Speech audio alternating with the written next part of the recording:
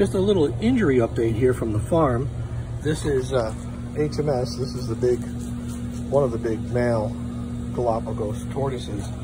And we discovered the other day that he had this scrape. It's actually, it's actually pretty deep. You know, it's gone through this, this first layer of this of the shell, and you can see that as it scraped along here, it peeled that veneer back. That's what you see bundled up right there. So I've, I've walked the farm and I've tried to find what what could make that injury. And unfortunately, to, to date, I have not been able to find what caused that injury.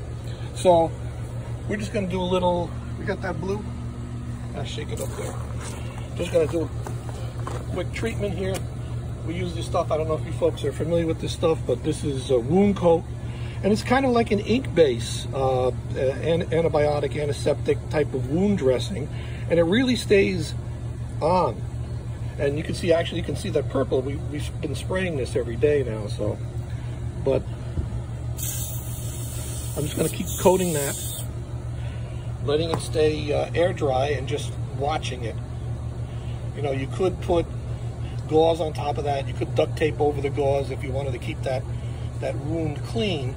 But um, typically, this is the way that I deal with uh, these types of injuries.